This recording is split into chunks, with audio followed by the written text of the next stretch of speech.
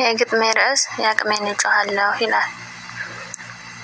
ተቆርቋሪ እንዳጣ እንደ መድረሻ ቢስ በባዕድ ሀገር ላይ በስር ሲበሰብስ እንደው እንዴት ሆኑ የሚላቸው ጠፍቶ ከትናንቱ ዛሬ ግፍ ስቃው ከፍቶ ለወሬ በማይጥም በሚቀፍ ለሰሚ ለሰው በማይመጥን እጅግ አሳማሚ ቅጣትና በደል ገላቸው ቆሳስሎ ወዘና መልካቸው ተሟጦ አፈር መስሎ ከፊሉ እንወጣ ይሆን? በሚል ምኞት ተስፋ ሁሉን እንደምንም ቻል አርጎ ሲገፋ ወዲህ ሌላው ደግሞ ከናፍቆቱ ጋራ ታክሎ እንግልቱ በብቸኝነት ጣር ተዳክሞ ጉልበቱ ከህመሙ ሳይሽር ይሰማን መሞቱ።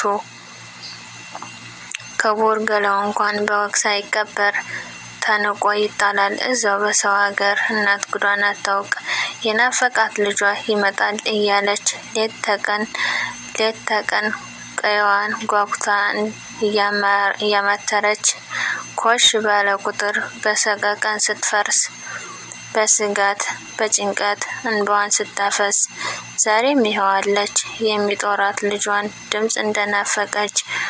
ቆይ ታዲያ መች ይሆን መድረቂያው የወገኔ ቁስል? መችስ ነው የሚታየው በሰውነት ምስል? ማንስ ይሆን ከቶ ህመማቸው አሞት የሚታደጋቸው ከዚህ የእስር ሞት?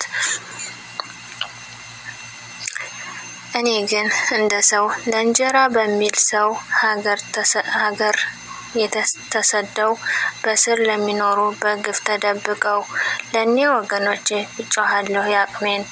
አዎን ዝም አልልም።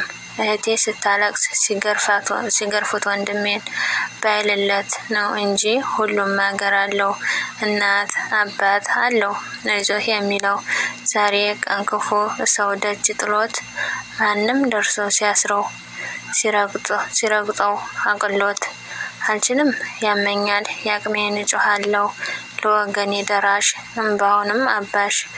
ወደ አገሩ መላሽ ሰው እንኳን ባላገኝ ቢሰማኝ ፈጣሪ አቅሜን እጮኻለሁ። አዎ ኡኡኡ ላለው ስለ ፍትህ እሪ